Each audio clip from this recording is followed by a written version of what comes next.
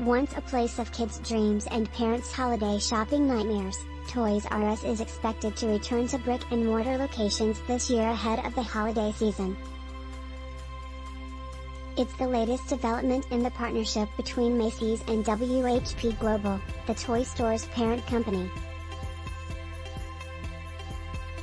All Macy's stores across the country will include an in-store Toys R Us and be stocked with toys from the storied brand, Macy's said on Monday.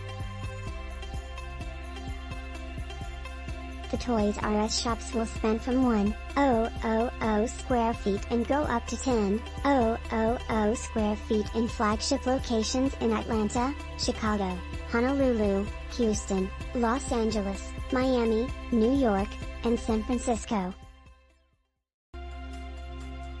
The Toys R Us sections are designed to stand out and will include hands-on demonstration tables for customers to try out and play with the toys. And for those missing Geoffrey the Giraffe, worry not. The stores will feature a photo opportunity with the Geoffrey on a bench. The stores are set to begin opening later this month, with all locations expected to be in place by October 15th ahead of the holiday shopping season.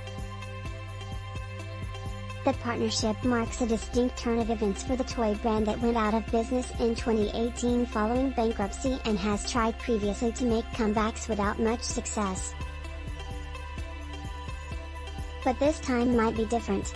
The toy brand began partnering with Macy's online last August and has seen some success. Macy's said toy sales in its reported earnings for the first quarter of 2022 were 15 times higher than the comparable period before the partnership with Toys R Us started.